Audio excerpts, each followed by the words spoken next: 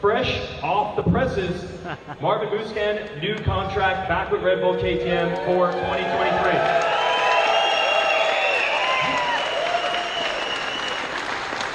You keep winning races. You keep winning races, uh, and you keep. That doesn't happen if you don't still have the desire. So you still want to come out here and do this. Yeah, I mean, uh, this year I was able to, uh, yeah, to win in St. Louis the Triple Crown and uh, get fourth in the championship.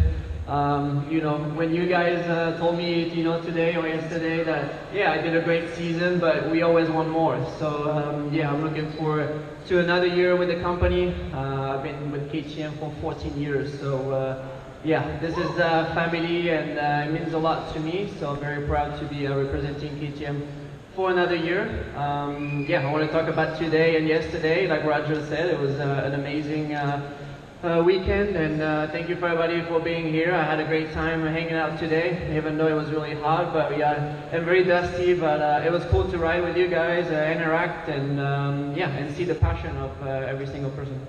Cool. Yeah, he rode. But Marshall, you rode too, right? Round of applause for those guys for riding out there with the dealers today. That's awesome. That's cool.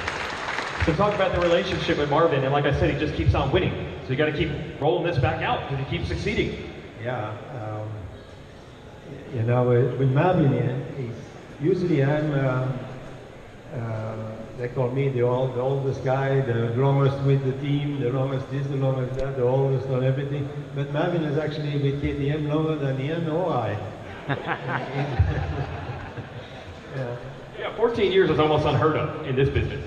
Yeah, that's, that's right. And, uh, you know, he, he, he started with uh, KTM, won uh, some world championships in Europe, and then came over here.